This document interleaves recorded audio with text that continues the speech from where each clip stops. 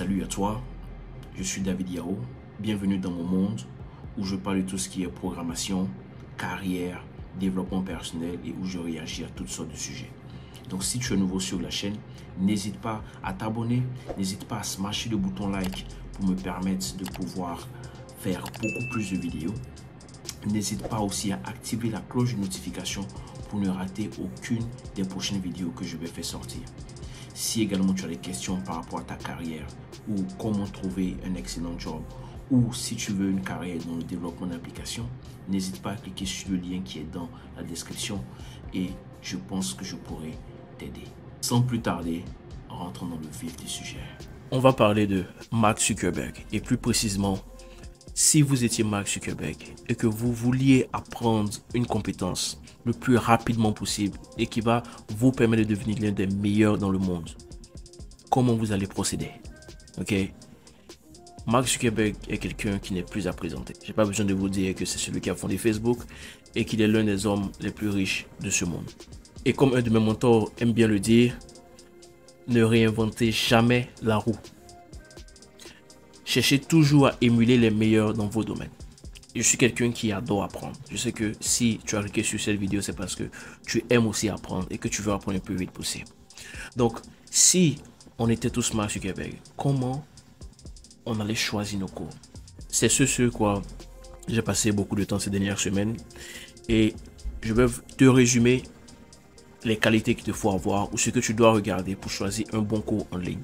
Ce que tu dois savoir, c'est qu'il y a tellement de cours en ligne, tellement de ressources en ligne, que souvent on a ce qu'on appelle une paralysie d'information. C'est-à-dire qu'on ne sait pas quoi faire, on ne sait pas quoi choisir. Mais ce que tu dois garder en tête, c'est que quand tu choisis un cours, le but, c'est pas que de suivre des cours et des cours et des cours en ligne. Le but, c'est de pouvoir appliquer ce que tu apprends dans le monde réel pour gagner de l'argent, pour devenir l'un des meilleurs dans ton domaine. Et c'est ce qu'on veut faire, c'est ce que moi je veux faire, c'est ce que je veux faire pour toi également. Donc reste avec moi dans cette vidéo. Je pense que le dernier point, c'est surtout ça qui va peut-être faire la différence entre toi et tes autres potes qui ne font que acheter des cours en ligne, acheter des cours en ligne et ne les finissent jamais. Ok? Donc, quand il s'agit d'apprendre la programmation, Mark Zuckerberg est forcément une source d'inspiration. Ok? La première chose que Mark ferait, c'est de faire une recherche approfondie. Zuckerberg est connu pour sa curiosité insatiable et sa soif de connaissance. Et il chercherait probablement des cours de programmation qui sont de haute qualité et qui offrent un contenu complet et détaillé. Pas des cours superflus. C'est la première chose qu'il va chercher. La deuxième chose, c'est pratique, pratique et pratique. Mark Zuckerberg croit fermement en l'apprentissage par la pratique. C'est comme ça que il était à l'université et qu'il a créé Facebook parce qu'il appliquait ce qu'il apprenait. C'est comme ça que il a réussi à développer des applications pour sa famille quand il avait 12 ans. Quand il était un gosse, un ado. OK? Parce qu'il pratique ce qu'il apprend. Donc, cherche un cours qui t'encourage à pratiquer ce que tu apprends. Si tu vois qu'il y a beaucoup de projets dans ce cours, c'est quelque chose que tu devrais peut-être regarder de plus près. Troisième chose, c'est apprendre à ton rythme. Zuckerberg a souvent parlé de l'importance de l'apprentissage à son propre rythme. Donc, si tu étais Mark Zuckerberg et que tu dois choisir un cours, tu devrais choisir un cours qui va te permettre de progresser à ton propre rythme. C'est très important. Parce que beaucoup de cours en ligne font ce boulot et sont vraiment à féliciter.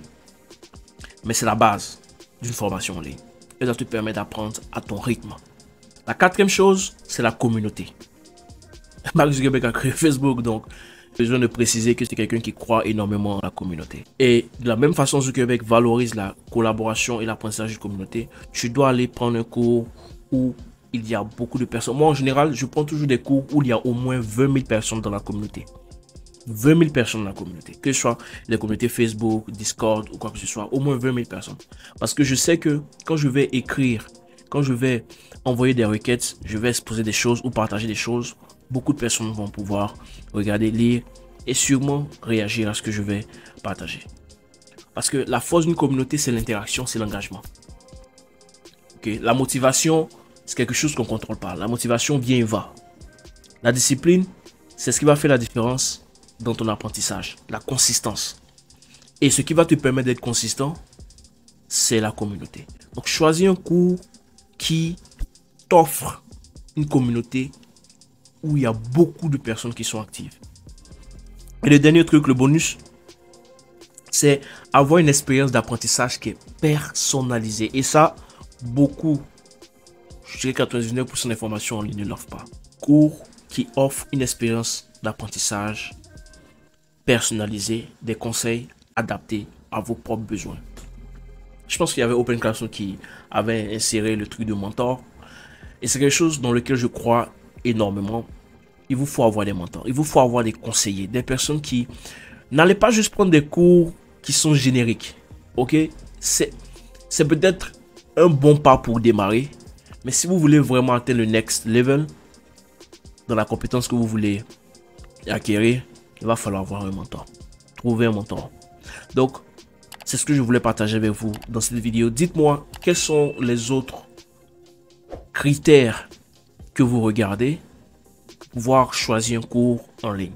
Et si vous voulez que je vous donne la liste de mes trois sites préférés pour suivre n'importe quelle formation en ligne, dites-le moi dans les commentaires et je vais vous faire une vidéo à ce sujet. C'était David Yao.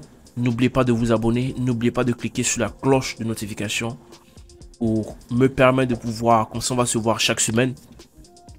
Et n'oubliez pas de partager la vidéo, n'oubliez pas de liker pour le référencement.